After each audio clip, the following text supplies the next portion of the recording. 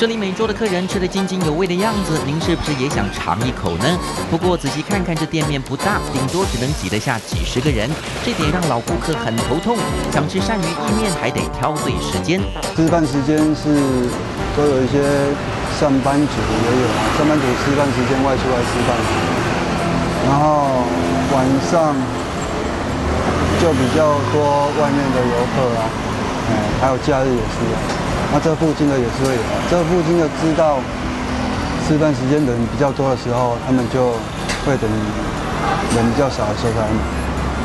每个时段都有不同的客群，生意这么好，文志却为了维持产品的品质，唯一能做的就是多请几个员工，连开分店都要再三考虑。我来这边，来这边十几年，跟他都一直在工作啊，这样子的很融洽，真的好，哎，所以说看他很孝顺他母亲呐。对，哎呀，文治对于品质的要求，这是吃过的人都有目共睹的事实。不管这三十几年来多么辛苦，产品特有的家乡风味始终如一，而文治对母亲的孝顺也始终没变。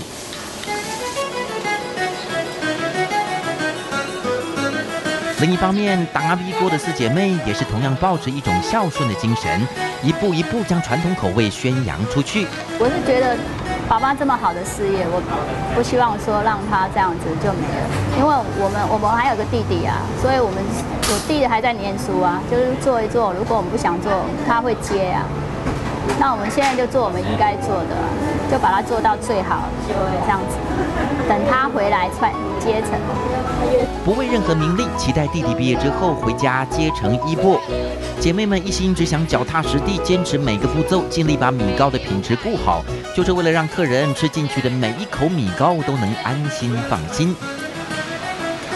相信，因为这份坚持，不仅让长期以来支持他们的老顾客不断回流，也使得大阿比沟善于意面的传统美味一代一代传承下去。